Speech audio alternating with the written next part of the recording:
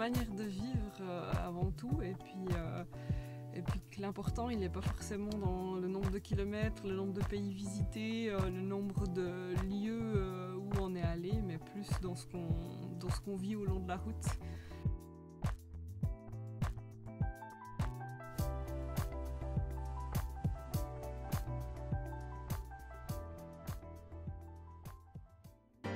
Tu rêves de changement, autonomie et découverte? C'est bon, t'es sur la bonne chaîne. Nous, c'est Tiffen, Raph et notre chien Easter. On a tout plaqué pour vivre à l'année dans notre campeur et fonder notre famille sur les routes du monde. Abonne-toi et suis-nous dans l'aventure. Tu n'as toujours pas présenté ton van J'ai un peu l'air con, je suis un peu plus petit que toi. Ah oui, je suis assis sur mon cube. Je suis petit. Et puis moi, je suis Bon. Présentation de ce van. Santé boubou Moi, c'est Tania, je voyage avec mon amoureux. Euh, L'amoureux. L'amoureux, oui.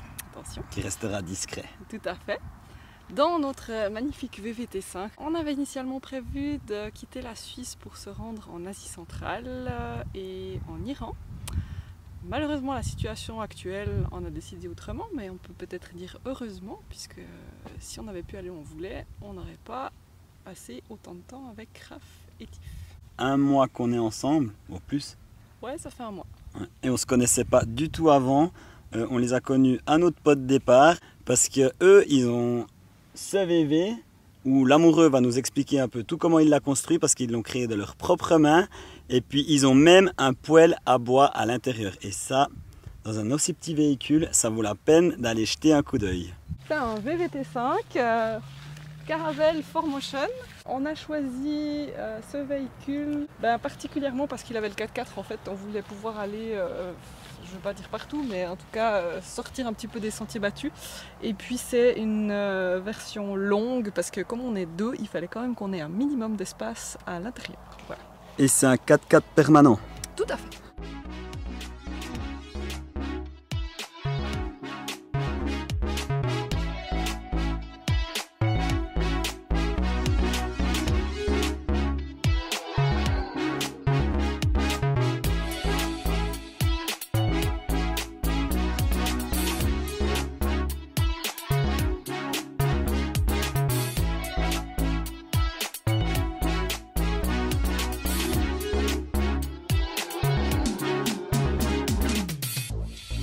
Donc on va faire le tour de ce magnifique van qui a été fabriqué par l'amoureux, l'homme mystérieux et surtout vous verrez il est ébéniste. On va commencer par la cuisine à l'extérieur. On peut voir que tu as des, des tiroirs dessous là. Yes, faut savoir que je l'ai fait euh, en peu de temps. On a enlevé la garniture, on a isolé, fait un châssis bois, mis un pare-vapeur, posé les lames, construit le lit, construit les tiroirs, construit le placard, construit le petit meuble qui est à l'avant. 30 jours. 30 jours, donc comme quoi c'est possible. Voilà. On va voir cette cuisine. On avait deux points principaux pour notre projet et notre véhicule. Premièrement, on allait dans des pays chauds. Donc, on s'est permis de cuisiner dehors. Deuxièmement, on voulait un lit fixe. Je déteste faire les choses trois fois. J'aime bien quand c'est simple. Donc, on a un lit fixe.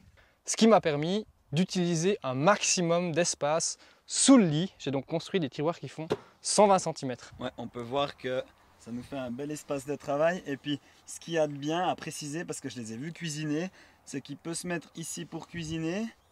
Il y a le haillon en dessus qui fait office de toit. C'est hyper bien pensé parce que tu peux cuisiner ici et tu peux te retourner et prendre. Regardez-moi ça. Tu peux prendre tes affaires pour cuisiner, tu te retournes et là tu as ta petite cuisinière. Une petite plaque à deux feux à gaz. C'est simple, c'est efficace. Le gaz, c'est la plus petite des grandes bouteilles de gaz. Donc c'est quand même euh, euh, 7,5 kg de gaz, sauf erreur. Ça a clairement déterminé la hauteur du lit. Et ce qui euh, malheureusement nous fait qu'on ne peut pas s'asseoir dans le lit quand on est dans le véhicule. Voilà, un petit tiroir à épices, un petit tiroir à ustensiles et de la vaisselle. Et ça, ben, je te laisse le fermer, Raph, tu verras. Ces coulisses là, parce que franchement, il y a du poids et regardez-moi ça comme ça va nickel. Voilà. Avec le petit loquet. Hein, C'est 120 cm de long. C'est des coulisses double extension, donc j'ai une sortie complète de mon tiroir, pas seulement, pas seulement à moitié. Euh, elle supporte 160 kg normalement. Ouais, donc il faut des bonnes coulisses. Il faut des bonnes coulisses pour faire des bons tiroirs. C'est vrai que là j'ai aussi insisté. euh, C'est un certain prix, hein, faut pas euh, non plus se leurrer. Un bordel, hein, ça forcément, on n'y échappe ça, pas. quand hein. on vit en van, c'est normal. On vit dans le véhicule, donc on doit avoir un véhicule qui vit. Et là, ça vit. Voilà.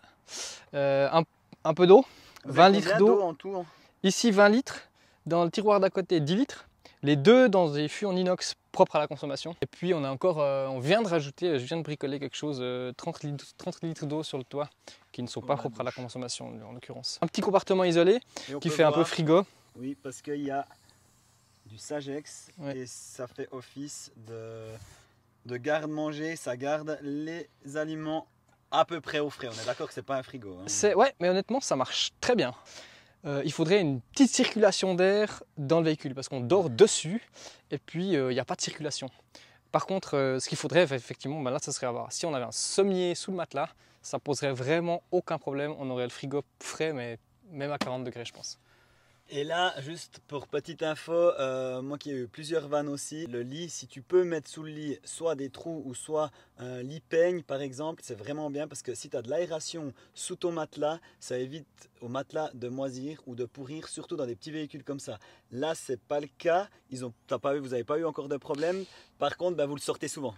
Voilà, c'est ça. Quand il fait beau, une fois euh, tous les 10 jours, 15 jours, on sort le matelas, on le laisse sécher un moment et puis, euh, puis c'est fait. Là, le coin, salle de bain. je Voilà, le petit coin salle de bain, un petit miroir. Bon, ça permet des fois de se coiffer un peu devant un miroir, c'est sympa. Ça, c'est le top. Et maintenant qu'on approche dans le véhicule, vous pouvez voir, regardez-moi ce magnifique bois. C'est euh, des lames d'épicé à thermotraité qui sont brossées d'usine. Euh, ça vaut assez cher au mètre carré. Et en fait, j'ai récupéré toutes les chutes. Bon, j'avoue, ça m'a pris un peu de temps parce qu'il fallait trier dans les déchets. À préciser Mais- que le van est fait, donc euh, toute la, la structure du van est fait avec de la récupération. Oui, en partie. euh, Ouais. ouais, pas Oui. entièrement, faut avouer, mais euh, la- Comme la- quoi on peut faire de vraiment magnifiques choses avec de la récupération. Là, on peut voir les petits placards à habits. Voilà, que j'ai décidé d'ouvrir par le haut. on a aussi une trappe pour les habits chauds qui, qui est en bas. Nickel. On a aussi sac de couchage et autre chose euh, pour les temps plus froids. Ce qui est bien aussi, c'est qu'ils ont fait un petit rebord. Et franchement, c'est top. Je pense que tu peux poser des choses dessus. Ouais, genre, je mets toujours mes lunettes, mes bouquins, euh, mes Ouais. élastiques à cheveux. Bah, là, il y a mon bonnet en l'occurrence parce qu'il a fait froid la nuit passée. Là, on va aller voir maintenant l'avant du véhicule. Voilà. Waouh. Donc on voit que l'espace sous le lit, comme je le disais avant, est aussi utilisé. On a un petit siège avec des rangements, euh, un rangement qu'on utilise moins souvent euh, dans la caisse raco grise, une caisse à outils, un peu de lessive tout au fond. C'est amplement suffisant. Et là, on peut voir qu'il y a du bois. Et ce qui veut dire bois veut dire poêle à bois. Tout à fait. L'énorme bibliothèque. Voilà. En fait, explique-nous un peu comment vous vous installez dans le véhicule. C'est très simple. En fait, on, on était deux, on a peu d'espace, on vit beaucoup dehors, mais il nous fallait quand même euh, éventuellement être assis un ou deux jours sous la pluie euh, dedans. Donc, j'ai commandé une plaque tournante pour le siège passager qui se tourne. J'ai fait un petit siège qui se tire depuis sous le lit et une table qui se s'ouvre sur console. C'est simple et c'est efficace. On va voir ça. Je vais vous installer tout ça et en même temps, je vais installer le fourneau vu qu'il prend un petit peu de place juste maintenant. Ils ont comme chauffage un fourneau à bois, comme nous on a dans notre véhicule. Si jamais je te mets le lien ici, euh, et tu verras, c'est pas les mêmes systèmes, mais ça marche très bien. Et puis on peut, on arrive facilement à mettre un poêle à bois dans un véhicule comme ceci. Imaginons que j'installe le salon pour une soirée d'hiver. Le support du fourneau, Donc le fourneau, c'est tout toi qui l'as fabriqué, on est d'accord. ouais, c'est entièrement moi qui l'ai fait. C'est un samovar qui vient de Turquie. En fait, c'est un- une espèce de, de petit chauffage, de petit fourneau qu'ils utilisent pour faire chauffer le thé. Ils font chauffer l'eau dans la partie du haut, et puis ensuite il y a un couvercle et une théière qui vient se poser dessus. Et toi, tu l'as récupéré pour faire. Et moi j'ai fait un fourneau avec. On peut ouvrir On ce siège-là, mettre Un petit mode euh, petit canapé là. mais qui- c'est ouais. ça, c'est ouais. exactement ça. On Là. voit que c'est spacieux, donc je vais passer. Voilà, Attention- attention sur le fauteuil, c'est la là. place du roi et la table qui s'ouvre. Ouais, on a vraiment un bel espace, donc une personne peut s'installer là. Comme on avait vu euh, Van Tour de Chai Gaston, eux aussi c'était des fainéants, ils voulaient un lit fixe. Ah, c'est Van Nijver. Ah, moi j'aime le lit fixe. Ça marche bien, on a vraiment pu euh, passer quelques fois ben, des journées dedans. Et puis avec le fourneau qui ne gêne pas, si tu es assis. Donc ça, c'est vraiment euh, pas négligeable. Ici, on voit des rangements. Qui sont aussi accessibles depuis l'autre côté, à spécifier qu'on a une deuxième porte coulissante. Et on va déjà, je pense aussi, sortir cette magnifique guitare. Une fixation qui peut peut-être intéresser les musiciens qui vivent en van. Ce que j'ai fait, c'est que j'ai utilisé les deux petits arceaux en métal qui servent à mettre la, la ceinture de la guitare pour la porter euh, en bandoulière. J'ai fait en sorte qu'ils tiennent dans deux rondelles. Celle-là, Ah, excellent. ensuite la deuxième. Oui. Qui Et est après, près ça du tient manche. comment aimanté? Non, c'est pas aimanté, c'est une cadenassière qui vient serrer le tout Ouais. et qui bloque. Et c'est ça qui va mettre en tension les deux. Exactement. Et vas-y. Et voilà. Et ta guitare, elle tient. Ce qu'il faut savoir aussi, c'est qu'eux, ils font aussi de la piste. C'est un véhicule 4x4. Ça vibre beaucoup. Et avec ce système, ils peuvent envoyer du steak. Il n'y a pas de problème. Euh, la guitare ne bouge pas. Donc là, oui, vous avez aussi deux portes. On voit, ça donne. Ouais, c'est vraiment top parce que tu as, une belle euh, aération. Tu as une belle. euh, Hum, Moi, je pense surtout que ça nous permet d'accéder à ces rangements-là. En électricité, euh, l'interrupteur lumière. Oui. L'allume-cigare. Oui, 12 volts la cigare. Les USB. Voilà, Là, c'est le contrôle. le petit voltmètre qui le s'allume petit ici. voltmètre. Ça, c'est la grande classe. Voilà. Donc, une installation simple, sans panneau solaire, mais avec une batterie auxiliaire reliée à la batterie. Oui, alors elle est déjà couplée d'origine. Voilà. Moi, j'ai vraiment rien fait quoi. J'ai juste tiré un câble depuis le plus de la batterie auxiliaire et puis fait un circuit avec des fusibles, c'est tout. Tu as toujours les ceintures parce qu'à la base, c'est un véhicule donc, de transport de personnes. Il y avait 9 places à la base. J'ai condamné les 4 places qui sont, enfin, en l'occurrence sous le lit. Puis j'ai gardé une banquette de 3 qui vient à la place du meuble et un peu dans le salon où on avait le siège et le fourneau. Euh, Donc, du coup, tu peux mettre combien de places là avec je peux rajouter une banquette de 3. Donc je garde le lit fixe, je condamne l'accès au siège et au rangement, aux petits rangements qui sont Et tu accessibles rajoutes depuis ta banquette de 3. Mais je rajoute une banquette complète de 3. Donc, à la- tu peux partir avec le lit fixe et 5 personnes. Exactement. C'est un meuble qui est construit.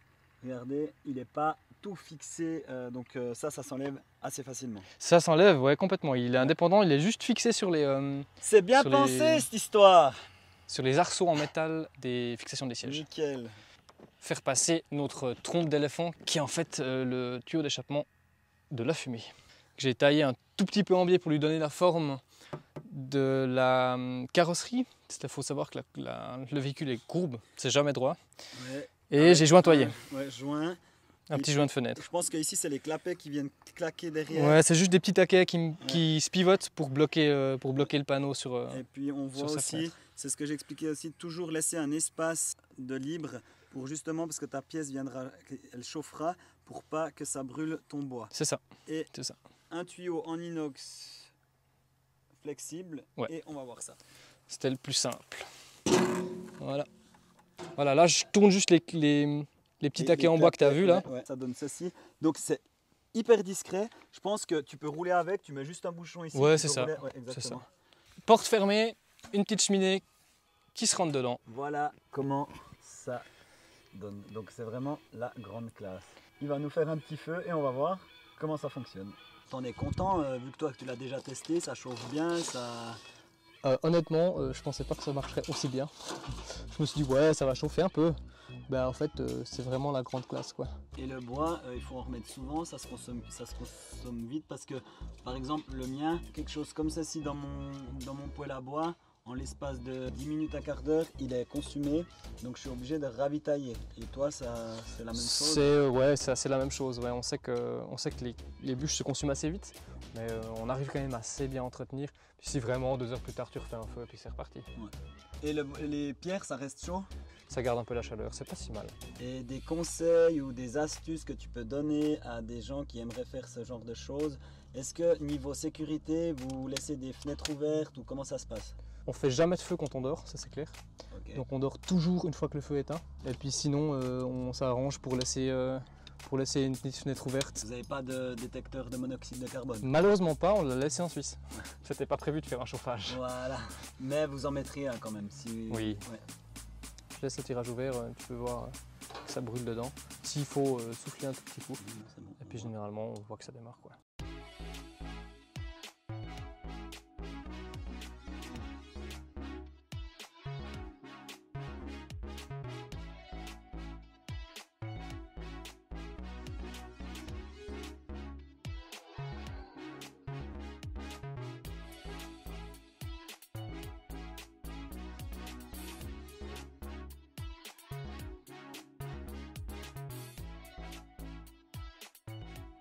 Au début, on voulait voyager, euh, visiter des pays, euh, voilà, rencontrer des gens, euh, faire des kilomètres. Puis ça n'a pas été possible, en tout cas pas possible comme on l'imaginait à la base. Finalement, c'est peut-être pas si mal, c'est peut-être autre chose dont on avait besoin. Et puis ce qu'on apprécie aussi, c'est simplement de prendre le temps, de se poser. On s'est rendu compte qu'on avait aussi besoin de s'arrêter, prendre du temps pour nous et puis faire ce qu'on a envie, ce qui nous plaît, euh, des activités comme écrire, comme lire, comme faire du yoga, euh, écouter de la musique, cuisiner. Prendre le temps de vivre. Prendre le temps de vivre. C'est en train d'apprendre que c'est une, une manière de vivre euh, avant tout et puis, et puis que l'important il n'est pas forcément dans le nombre de kilomètres, le nombre de pays visités, le nombre de lieux où on est allé, mais plus dans ce qu'on dans ce qu'on vit au long de la route.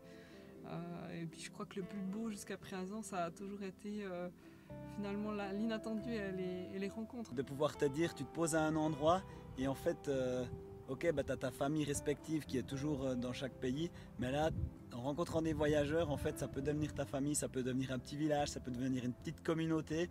Et puis, quand tu as les mêmes valeurs, les mêmes objectifs, le même état d'esprit, et ben, ça peut que bien marcher, comme on l'a vu bah, avec vous, avec, avec le couple d'Allemands, avec d'autres voyageurs sur la route. Et puis c'est ça euh, le charme du voyage, c'est que tu rencontres toujours des gens, tu découvres des belles personnes, tu échanges. Puis voilà, puis on va continuer de vivre comme ça parce que c'est ce qui nous convient bien.